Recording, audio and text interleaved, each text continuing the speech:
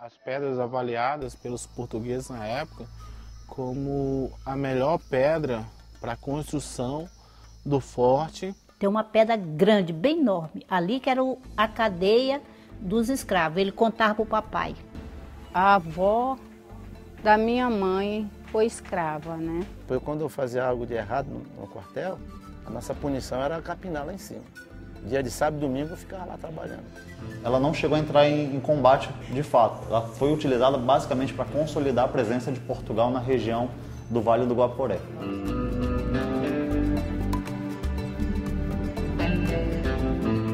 Na época que meu pai veio para cá, ele veio do tempo do Marechal Rondon, né? Que o Marechal Rondon passou duas vezes aqui pelo esse rio e viu a fortaleza abandonada, né? Que meu pai conta que quando eles chegaram aqui para servir, que o exército veio para cá, já moravam duas famílias aqui, né? Não era dizer que estava absoluta, né? Já tinha duas famílias morando. E papai conta também que tinha muita madeira grossa aí dentro da fortaleza. Então o pessoal conta que ela tem 300 anos, mas ele acha que ela tinha muito mais. Ele já veio como militar para cá. Marechal Rondon. Ele tinha 16 anos na época que ele veio já como militar, né, como soldado, né. Aí ele tirou três anos aqui, aí foi tempo que ele não quis mais, aí ele deu baixa. Mas aí depois ele voltou, retornou aqui de novo. Aí ela já estava já, já mais melhor um pouquinho, né? Tava limpa, né? Tava mais.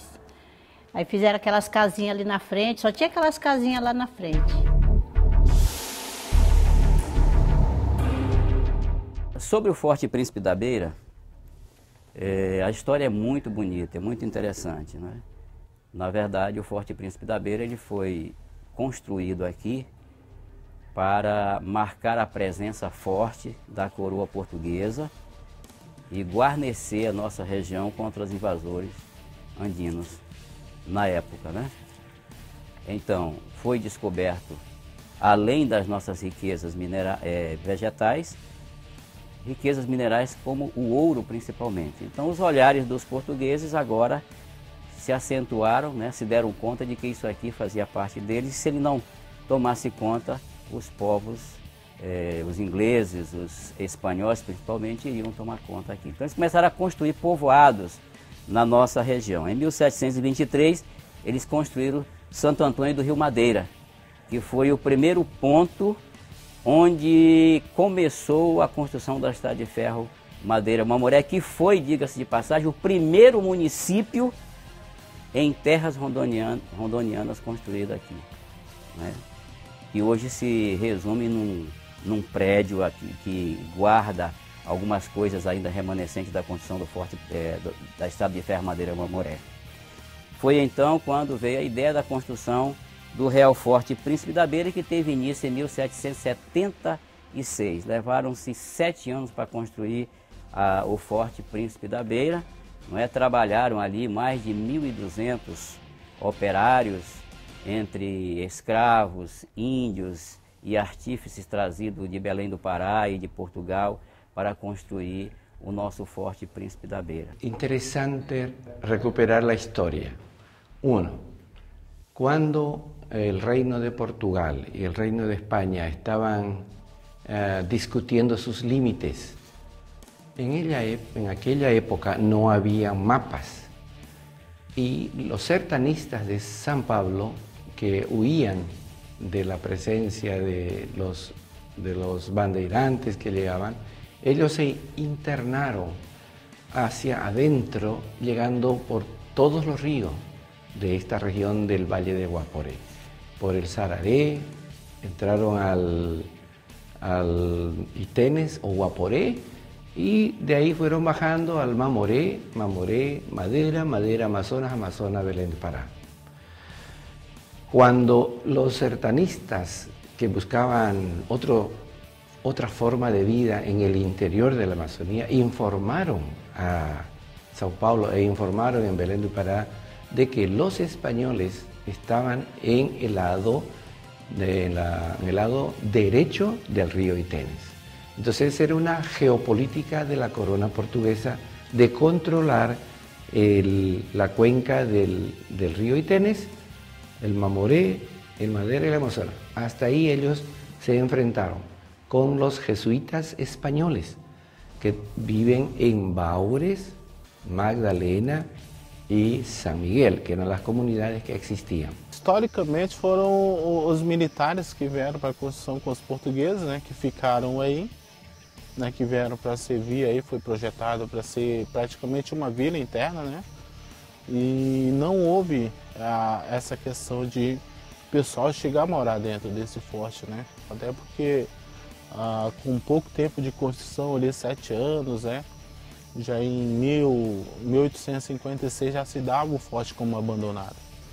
Nesse local, por ser um, um local mais alto, né, ali foi escolhido pelos portugueses para a construção do forte, porque ficaria a 150 metros acima do nível do mar, não teria perigo de, de enchentes, né? Mas o mais impactante assim que eu pude perceber ali é que tem alguns pontos que eles relatam que Nesse ponto, no local exato do forte, tinha uma senhora, né, que ela morava nesse local e era dona de cabanas. Né? E esse histórico assim relata que era uma senhora de cor que morava nessas cabanas. Foi ela que recebeu Domingo Samba 7 com a sua equipe, né, que estavam analisando o local, procurando o local para a construção do forte, o local que seria ideal né, para a construção do forte. Só que assim, a, após a construção do forte, assim, a gente não tem mais nada relatado sobre essa senhora que morava nesse local. Né? Então a gente vê assim, é um ponto, hoje a gente fala assim que é um ponto cego, porque a gente não tem mais relatos né, dessa senhora. A história se perdeu ali a partir do momento que construíram o forte, se perdeu. Porque na época que meu pai, meu pai veio para cá, ele contava que tinha as casas, tudo aí, construída igreja. Tinha, apareceu muito índio aqui. Tinha, muita, tinha as casas, tudo dia onde o pessoal morava. Tinha a igreja. Eu acho assim, para mim, que o pessoal conta é que acho que era para vigiar alguma coisa, né? Que não tem as guritas? Morreu um padre aí dentro. Tem lá escrito lá, lá dentro. Tem um padre que morreu aí dentro. Ele ficou preso e morreu aí dentro tem um relato do, do Pacheco. Né? É, historicamente, assim, a gente acredita que foi o padre, foi preso no Mato Grosso, veio para cá, é, justamente porque não tinha, a gente vê assim, não, ele não concordava com, com muitas ideias né, da coroa portuguesa. E esse Pacheco ele escreveu algumas coisas em português e outras em latim. E um dos relatos assim, mais interessantes dele diz que da época da sua prisão, somente uma pessoa ali dentro, né? Era quem dava assistência para ele, né? A gente acredita talvez até alimentação, né? Que era um capitão Cunha que sustentava ele, né? Ainda uns dois anos atrás, uma sargenta do exército, ela, ela tirou umas fotos de onde, onde ele vivia, né, preso. E aí no momento em que ela tirou a foto, é, não apareceu, em uma foto não apareceu a cruz, né? Uma cruz, né?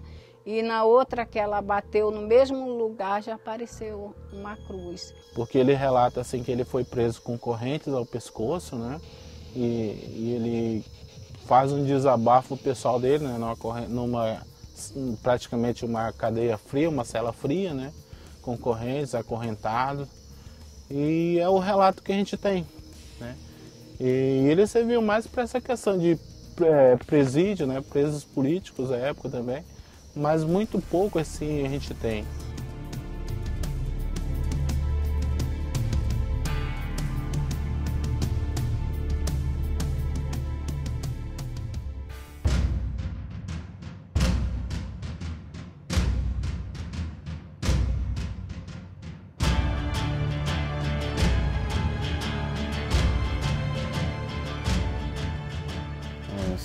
Anos atrás, na época, que tinha uma base de umas, eu acho que um, acho que tinha mais de mil pessoas aqui. Né? Naquela época eu acho que eu tinha uns 12 anos, 13 anos. E de lá para cá, né, foi só diminuindo, as pessoas diminuindo, saindo embora, indo embora. Né? E muitas pessoas que foram embora já vieram, já voltaram e vêm aqui visitar. Inclusive tem com as pessoas que já vieram aqui, não querem ficar aqui, morar aqui de novo. Porque aqui é um lugar bom, né? Você vê que é um lugar pacata, mas é um lugar abençoado. É um lugar que você sai daqui e você pode deixar a sua casa tudo aberta, você tem certeza que vai encontrar do mesmo jeito, né?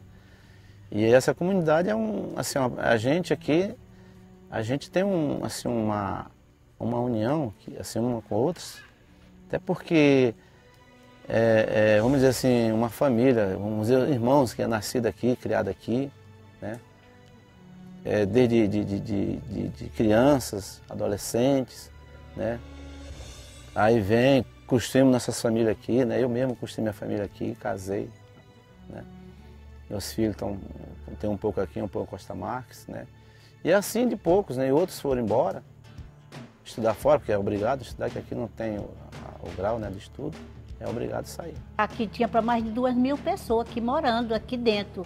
Tinha gente rua para cá, muita gente morando para cá, para cá, para Conceição, que era onde era o antigo aeroporto, tinha muita gente morando.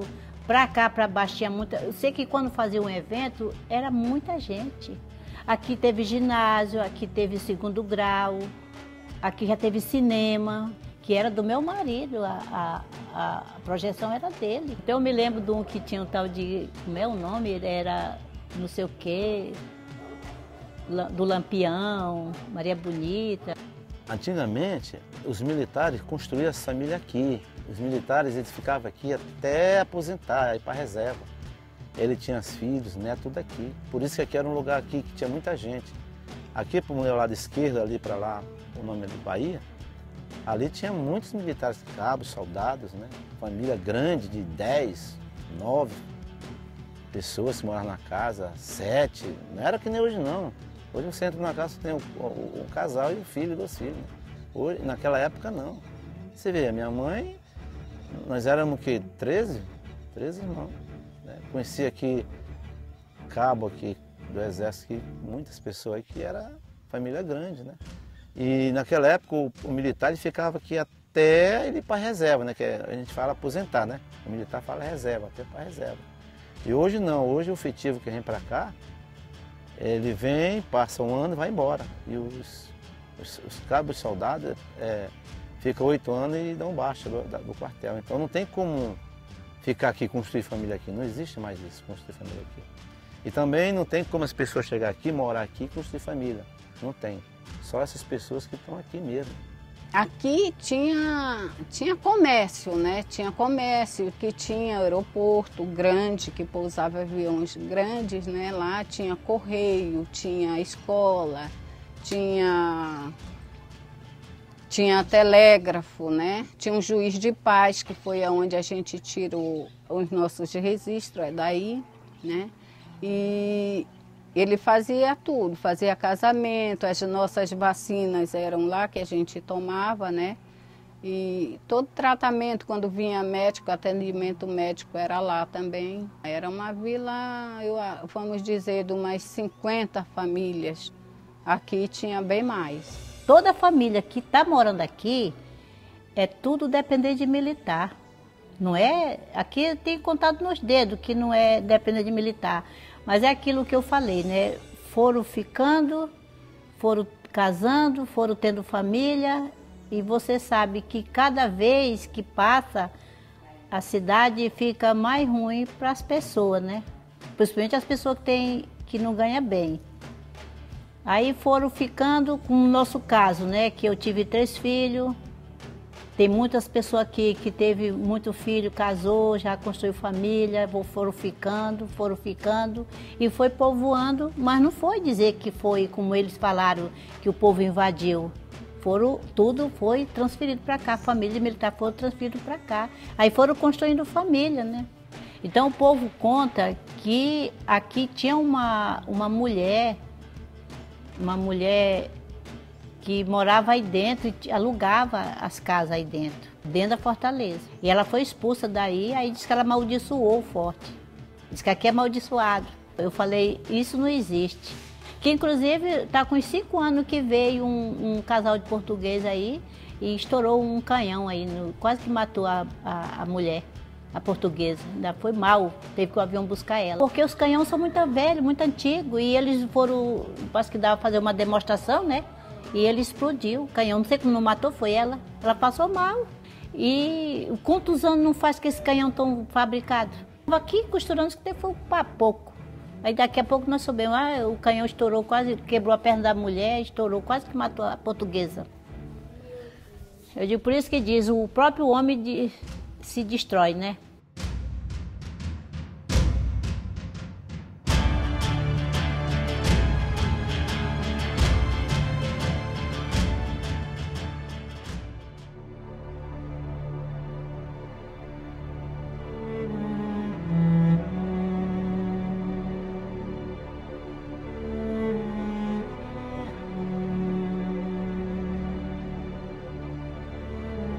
Dentro da fortaleza a gente fez escavação, né? uma escavação que era para tirar o aterro das casas né?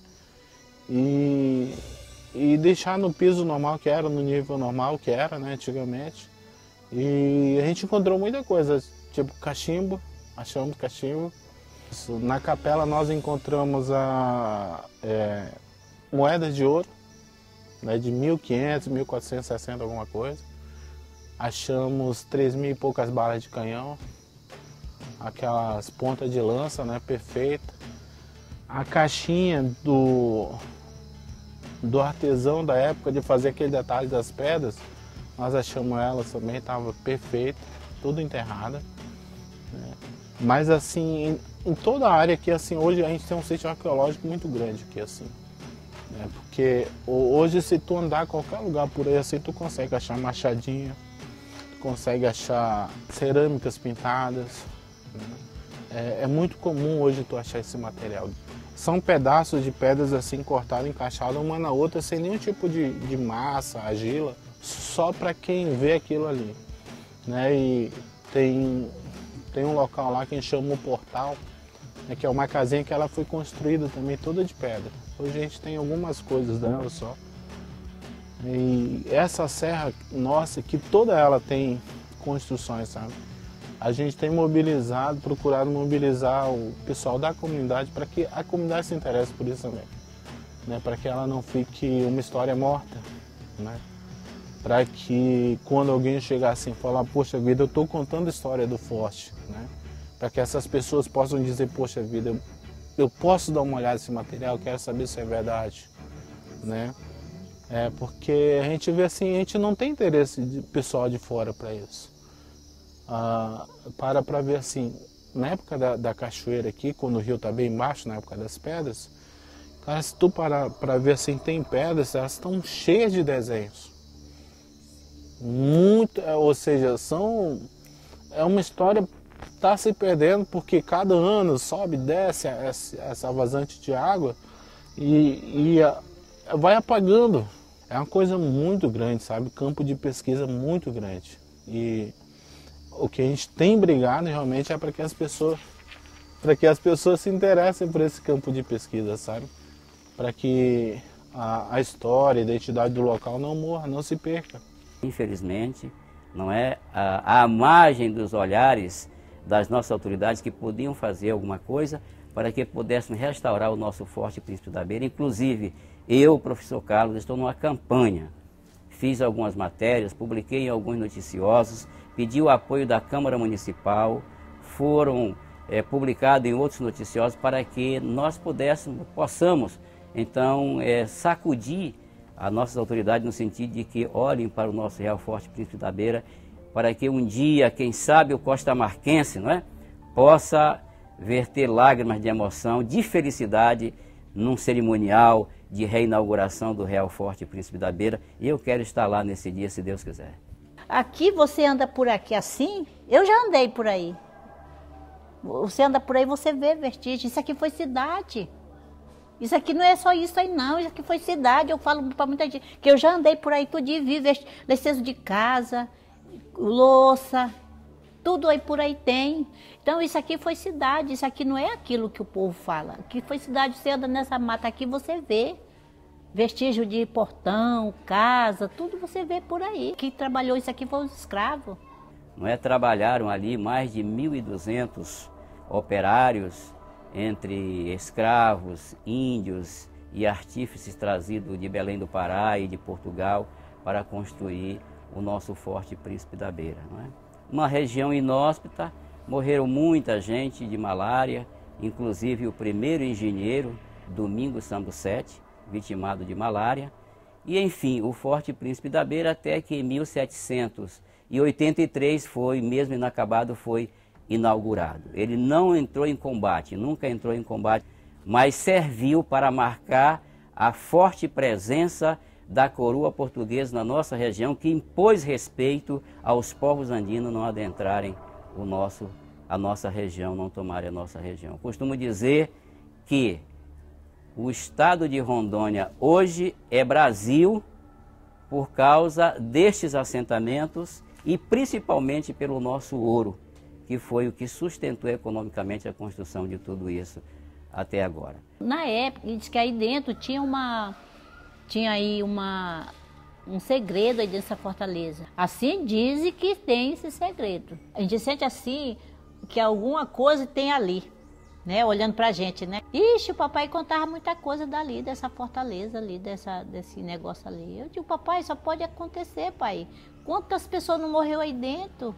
Quantas pessoas não morreram aqui fora? Os índios matavam. Aqui, nesse, aqui era uma mata fechada, uma mata alta mesmo aqui. Inclusive vem amigo meu passear aqui em casa, né, pastores, né, irmão, vamos na Fortaleza, eu digo, ó irmão, eu levo o senhor até lá na guarda lá, lá o guarda lhe leva lá, eu não vou. Eu não gosto de entrar aí. Essa rua aqui, ó, é a rua, primeira rua que teve aqui na, na Vila Sequim. Então, olha só, até 90, 98, assim, eu lembro que quando dava 10 horas, 10 horas da noite, assim, contado, tu, escutava os cachorros latir lá do começo da rua do cemitério para cá. E esses cachorros eles rodavam uma madrugada todinha. Todinha. Em uma época que nós estava dormindo aqui, escutava um barulho. Os cachorros devia escutar uma pessoa correndo na frente e um cachorro atrás. Meu marido levantou por duas vezes. Quando ele levantava que abria a porta, ele não via nada. Eu falei, rapaz, para com essa arrumação, ele tá olhando essas coisas aí. Umas três vezes. E uh, o meu pai sempre falava assim que era o, o som que você ouvia é um monte de lata velha, né? Um som de couro arrastando no chão também e os cachorros latindo atrás. Até umas três horas da manhã, essa zoada de cachorro. E de um tempo para cá parou. Mas assim, até o ano retrasado, o militar veio para tirar os últimos anos né, de serviço, só que ele não aguentou um ano. Porque ela relatava que toda vez que ela saía da casa dela, que ela olhava para cima das muralhas do forte, ela via gente andando e gente pedindo socorro. Né? E ela não suportou isso, ela pediu para o marido pedir transferência e eles voltaram para Guajará. Hoje assim eu tenho buscado muito, batalhado muito assim para que uh, se abra essa, haja uma expansão para esse campo de pesquisa, para que as pessoas se, interesse, se interessem por esse local, sabe? A gente tem assim, hoje eu falo assim, a gente tem muito campo de pesquisa aqui e interesse zero. Né? São poucas as pessoas assim que têm se interessado por esse campo de pesquisa. Ah, igual a Tati falou, a gente tem o labirinto ali, é um local, está no meio da mata. Ele hoje deve ter mais de um quilômetro de meio de, de toda a estrutura dele. É muito maior que o forte, é muito mais antigo que o forte e não tem nenhum relato. Né? E é uma coisa impressionante, porque o forte hoje é um patrimônio, patrimônio nacional, hoje está brigando para ser um patrimônio mundial, mas também tem aquela questão do patrimônio material aqui dentro, que são as pessoas. Né? Isso acho que é mais importante na história. Não tem história sem pessoas, é? sem os contadores de história. Isso eu acho legal. Sabe? Então essa identidade a gente busca, a gente procura manter. Nem, nem sempre é fácil, né? mas é preciso.